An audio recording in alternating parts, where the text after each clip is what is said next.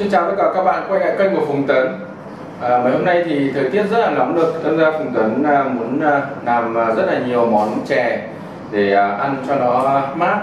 Thì hôm nay mình sẽ chia sẻ cái món chè hoa cau Còn gọi là món chè đậu xanh. Để làm được món chè đậu xanh này thì à, Mình chuẩn bị à, 1,5 lạng đỗ xanh.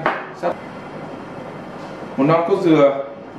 Cốt dừa này thì tí mình chỉ dùng à, một ít thôi chứ mình không dùng hết chỗ này nhé và hai cái à, thanh phin à, vani này. Đấy cái vani này thì cho vào chè rất là thơm các bạn nhé. Ngoài ra thì à, mình chuẩn bị hai lạng đường này.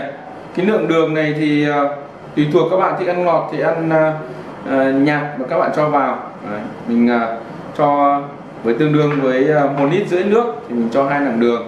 Đấy, còn các bạn mà ăn nhạt hơn các bạn có thể giảm nhé. Mình dùng nửa nạm bột sắn dây nửa nạm bột năng Đấy, mình kết hợp cả sắn dây cả bột năng nhé. Trước khi ờ, làm được cái này thì cái đỗ này thì thường thường mình sẽ ngâm ờ, một hai tiếng với cái nước ờ, lạnh. Đấy còn mình muốn nhanh hôm nay mình muốn nhanh. Mình ngâm cái nước bằng nước sôi nước nóng cho là nhanh.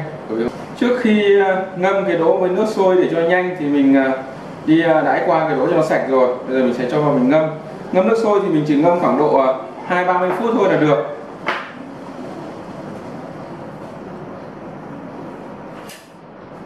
Mình sẽ cho nước sôi vào cho nó nhanh nhé. Các bạn mà có thời gian thì các bạn à, ngâm bằng nước à, lã nhé.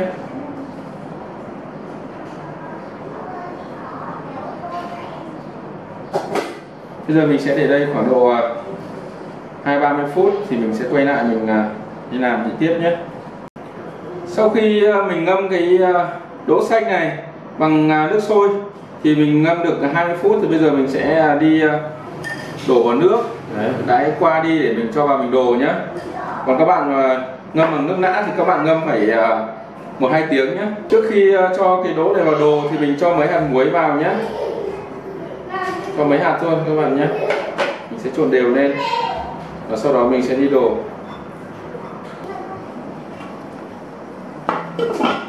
Mình đã chuẩn bị một cái xoong ờ, nước ờ, sôi đây rồi. Bây giờ mình chỉ việc cho vào mình đồ thôi.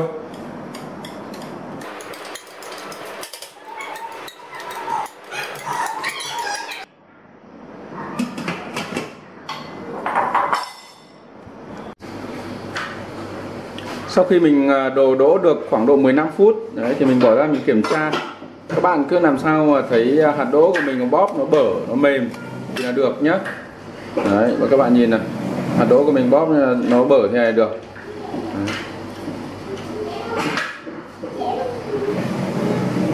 đấy. Các bạn bóp ra làm sao mà bở, bở đỗ nó bở ra được nhé và bây giờ mình sẽ à, tắt đỗ à, tắt bếp để mình à, cho cái đỗ này ra ở đây thì mình đang dùng à, 1,5 lít nước để mình đun làm nước chè. Thì cái nước này thì nếu như mà trong quá trình đun này mà các bạn mà kiếm được cái lá nếp thì các bạn có thể à, cho lá nếp vào đây đun để lấy cái vị thơm hơn.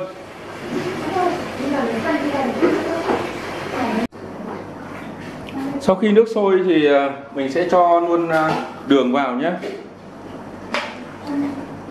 Mình sẽ đổ nương đường vào, mình sẽ bớt lại một xíu đường để tí nữa mình làm cái nước cốt dừa. Sẽ bớt lại một xíu đường. Mình sẽ cho một ít nước nọc vào cái ờ, bát bột năng này, muối đều lên.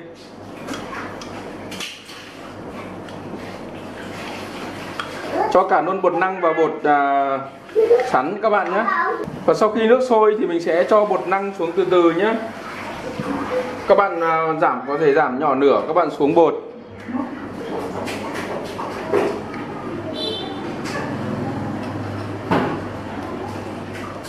Khi cho xuống bột thì các bạn xuống từ từ thôi. Các bạn không ờ, đổ ụp một cái xuống nhé ụp một cái xuống nó sẽ bị vón cục.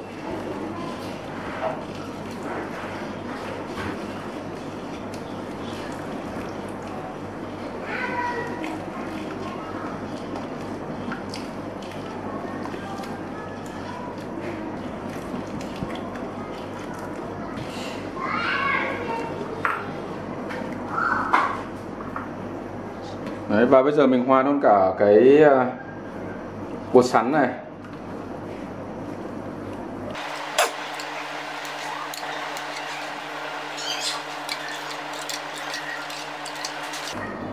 Sau khi hòa bột sắn xong thì mình cũng cho nốt xuống. Cũng xuống từ từ các bạn nhé.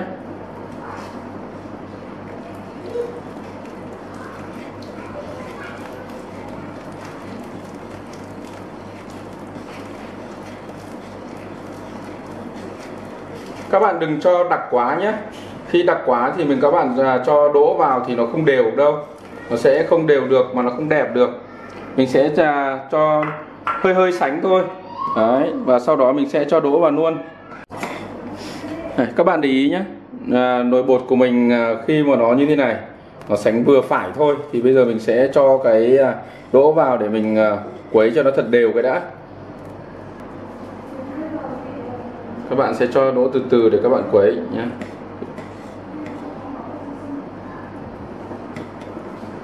cái này chỗ này là quan trọng các bạn nhé bước này là quan, rất là quan trọng các bạn mà cho đặc quá là các bạn, khi bạn cho đỗ vào nó quấy nó không đều được đỗ đâu.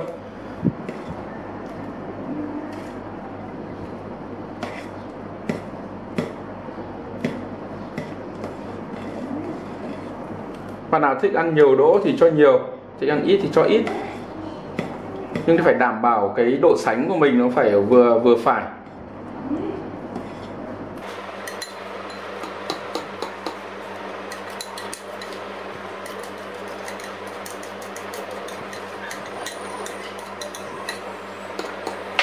Sau khi các bạn cho đỗ vào nó đều rồi, ngoáng đều rồi, thì bây giờ các bạn sẽ đun à, vặn to nửa lên, các bạn đun sôi tiếp. Khi nào sôi trở lại thì các bạn lại vặn nhỏ nửa.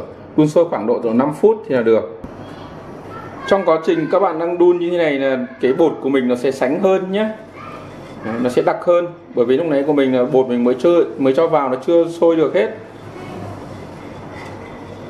Và bây giờ nhỏ nửa à, sôi rồi thì mình sẽ vặn nhỏ nửa đi để đun 5, 5 phút nữa. Sau khi mình đun được à, 5 phút cái nồi chè của mình nó sôi trở lại 5 phút thì mình sẽ à, cho cái à, vani vào để cho nó lấy cái độ thơm đấy, các bạn nhìn này, sánh nghe nhé các bạn nào muốn ăn ăn đặc hơn, các bạn có thể cho đặc hơn. Noáng hơn các bạn có thể cho noáng hơn. Noáng đặc thì à, các bạn giảm cái tăng, giảm tăng cái bột thôi. Bây giờ mình sẽ cho cái à, vani này vào nhá. Mình cho một cái phin này vào thôi. Khuấy đều lên.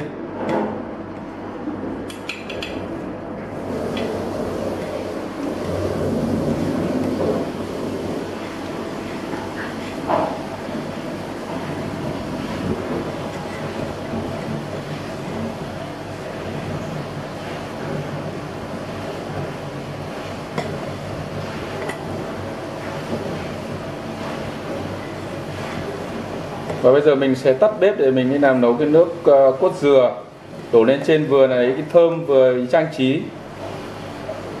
Mình sẽ dùng một cái xoong nhỏ khác hòa một chút bột năng. Để mình uh, cho vào. Cái này thì các bạn không cần đặc không cần nhiều bột năng cho một xíu à, một thìa cà phê thôi. Đấy, cho vào lấy cái độ sánh của nó thôi. Đấy. và sau đó mình sẽ đổ cốt dừa vào đây. Cái nồi chè của mình thì cũng có ít thôi mình sẽ dùng nửa non cốt dừa này. Đấy còn các bạn thích ăn nhiều, các bạn có thể cho nhiều. Cho 1 phần 2 thì ờ, đường vào. Và một ờ, xíu ờ, bột vani vào. Cái này có ít thì mình cho ít thôi nhé mình không cho hết cả, cho ít đâu. Sau khi cái cốt dừa của mình sôi lên và cái bột của mình chín thì mình sẽ tắt bếp để mình à, cho ra đây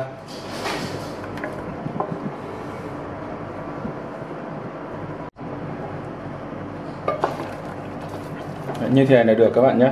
Sôi thế này được. Và bây giờ mình sẽ múc chè ra cho nó nguội để mình ăn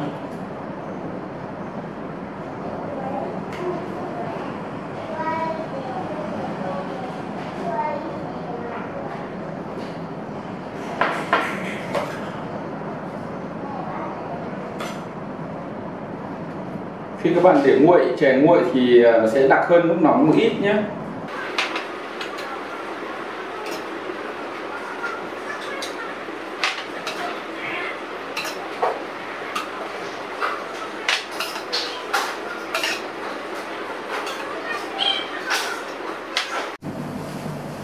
Đây là mình đã hoàn thành cái món ờ, chè hoa cao còn gọi là chè đỗ đỡ xanh này.